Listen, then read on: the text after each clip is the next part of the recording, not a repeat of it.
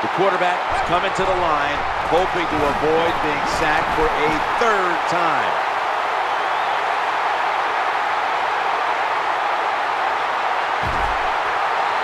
Breaks the long run for the touchdown.